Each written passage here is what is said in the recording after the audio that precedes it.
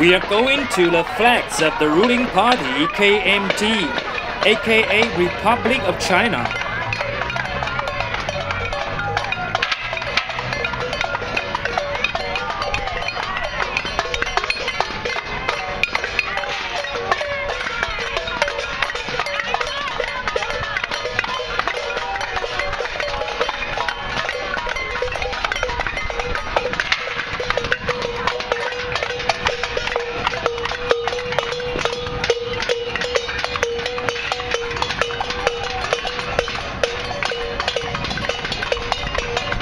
With pots and pans and the policeman.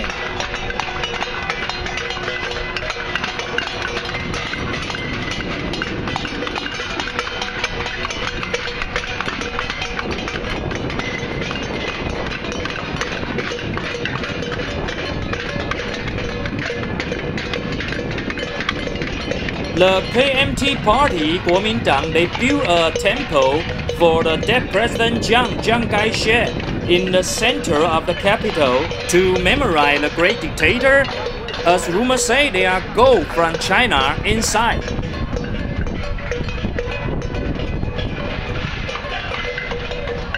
As time goes by, now they name the square Liberty